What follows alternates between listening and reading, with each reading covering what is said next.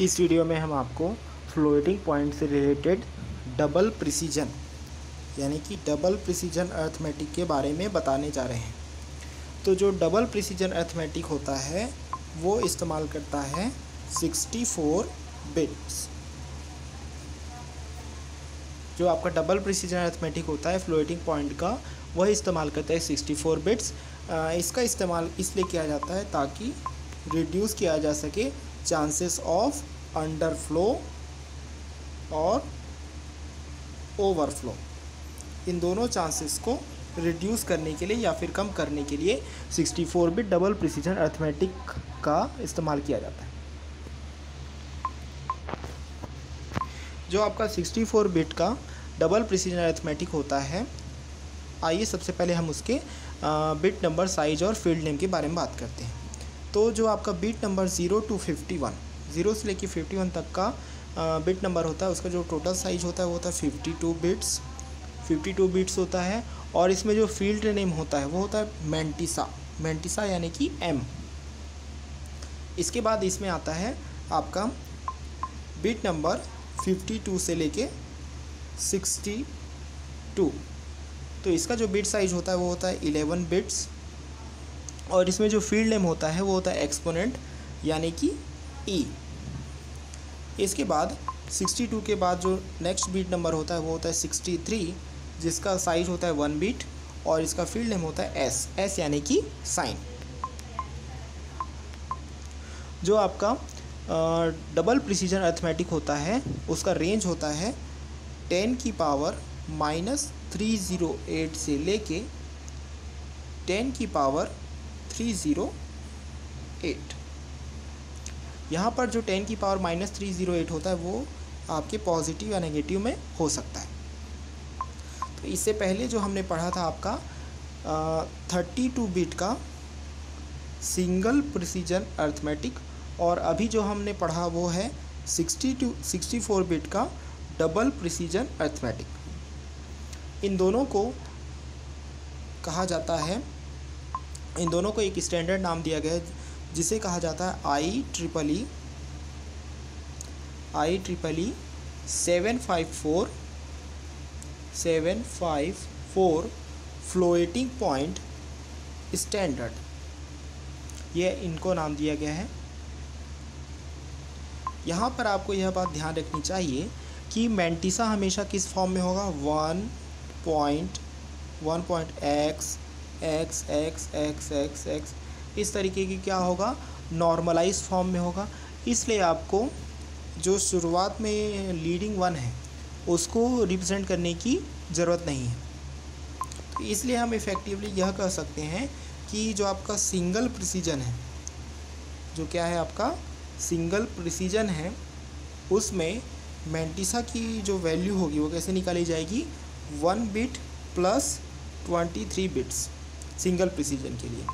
अब हम बात करते हैं कि डबल प्रिसीजन के लिए, डबल प्रिसीजन के लिए मैंटिसा की वैल्यू क्या होगी? तो डबल प्रिसीजन के लिए मैंटिसा की जो वैल्यू हम लेंगे वो होगी one bit plus fifty two bits. तो ये तो हो गया रूल। जैसे कि आप जानते हैं, मान लीजिए हमारे पास है ज़ीरो। तो और ये सपोज़ वैल्यू क्या है? ज़ीरो पॉइंट ज़ीरो है। तो जैसे कि आप इसमें जानते हैं कि कोई भी लीडिंग वन नहीं है तो इसे दूसरे अन्य नंबर से अदर अलग करने के लिए हमारे पास एक रिजर्व्ड बिट पैटर्न होता है। सारे ज़ीरोज़ के लिए ताकि एक्सपोनेंट के लिए हार्डवेयर उसको अलग से अटैच ना करे लीडिंग वन को। तो इसलिए तो इसलिए ज़ीरो पॉइंट ज़ीरो यदि हम इक्वल करें तो वो हो जाएगा zero zero zero zero and so on करते करते ज़ीरो ये सेम रहेगा। अब इसके अलावा जो भी अदर्स नंबर रहेंगे अदर्स नंबर के लिए कैसे होगा? माइनस वन की power S into one plus mantissa M into two की पावर ई e. ये होगा अदर्स नंबर के लिए। इसके बाद यदि हम, जो हमारे पास नंबर था मेंटिसा बिट्स का एम वाला तो उसको लेफ़्ट टू राइट हम गिनेंगे तो वो क्या हो जाएगा? एम वन एम टू और एम थ्री हो सकता है। तो एम मेंटिसा को यदि आपको पूरा कैलकुलेट करना है एम को, कैपिटल एम को तो उसके लिए आपको इन तीनों की वैल्यू की ज़रूरत पड़ेगी M one M two M three. तो उसको आप कैसे लेंगे?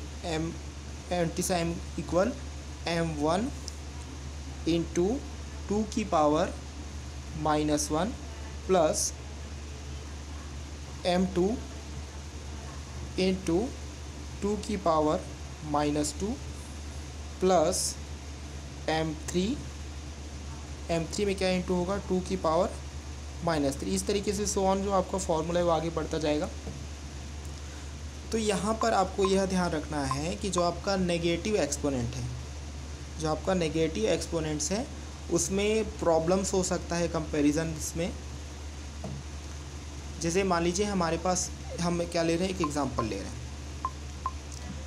मान लीजिए हमारे पास है